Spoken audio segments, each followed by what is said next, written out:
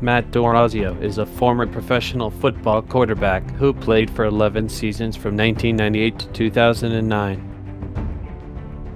D'Orazio was born on October 1, 1976 in Elyria, Ohio. In college, D'Orazio played for Otterbein University in Westerville, Ohio. Over 11 seasons, D'Orazio played for the New Jersey Red Dogs, the Milwaukee Mustangs, the Buffalo Destroyers, the Columbus Destroyers, the Chicago Rush, the Philadelphia Soul, and the Calgary Stampeders. His first team was the New Jersey Red Dogs in 1998. His second team was the Milwaukee Mustangs in 1999. His third team was the Buffalo Destroyers in 2002. His fourth team was the Columbus Destroyers from 2004 to 2005.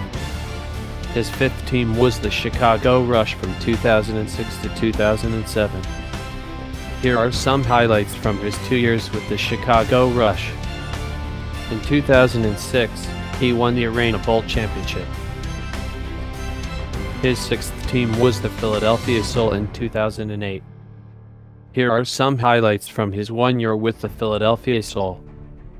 In 2008, he won the Arena Bowl championship, was named AFL MVP, was named First Team All Arena, and was named Champs Sports Quarterback of the Year.